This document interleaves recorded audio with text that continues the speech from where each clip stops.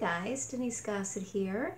Okay, so my third weekly chatting about what I do as an actor for the week. This week I renewed my subscription to Showfax. If you don't know what Showfax is, um, if you go to actorsaccess.com, you can see breakdowns and submit on breakdowns, and Showfax is partnered with them to provide sides. And for the one fee, I think it's like $68 a year.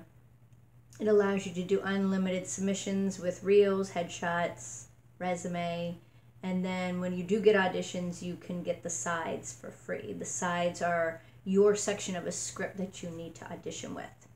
So I renewed that. Um, of course, I did all my usual submissions, which you should be doing every day and they're on things like Actors Access, LA Casting, Casting Networks, Now Casting, Backstage West, IMDb, all of those. That should be a given. If you are pursuing acting, that should be a given. Seriously. Like, that shouldn't even be on your list. That should be the first thing you do when you get up. Go through those sites, check it again later in the day, possibly again in the evening. That's your job. You should be doing that. I had two TV auditions this week, really nice, big, chunky ones, so I was very excited about that. Um, I read more scripts because, as you know, I am looking to find one to star in and produce. And so I read some more scripts today. I still have a bunch to read that have been sent to me, but I'm slowly getting through them all. I added more pictures to IMDb. And what I mean by this, not just headshots, I'm going through past projects. And if it's a film or a TV show that I took some shots that I personally own or that were given to me that are not up on IMDb, I'm adding them. It'll let you add them if you're uh, IMDb Pro. And I think it's important to have as much information or pictures out there about you as you're pursuing your acting. So I went through different indie projects that I've done and I added some pictures which was fun to reminisce about those old projects as well. Let's see, um, I did some writing because, as I told you, I am starting to try to write a script. I have a pretty decent idea, and I'm hoping I can somehow get it down on paper myself. I have an outline so far, and I'm going to start working from there.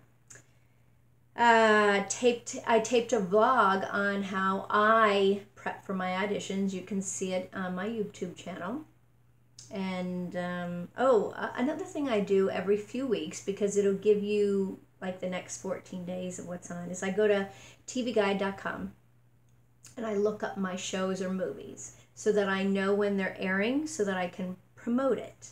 Um, it's funny because people will say to me, "Gosh, you're working so much." And the funny thing is, is a lot of them are past projects. They just happen to be re-airing, so it looks like I'm constantly busy, which is what we want.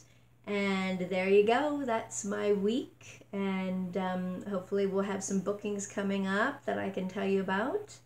But I hope you're doing all the things you should be doing because whether it's acting or producing, directing, whatever it may be that you want to be doing, you need to work on it every day. Even if, you know, sometimes the weekends we get busy with family things or whatever else is going on but I always try to at least make sure I'm getting in, you know, 30 minutes to an hour, even on the weekends. But during the week, it's like every second I can spare is spent on pursuing and promoting and all of those crazy things you have to do as an actor nowadays. All right, have a great week.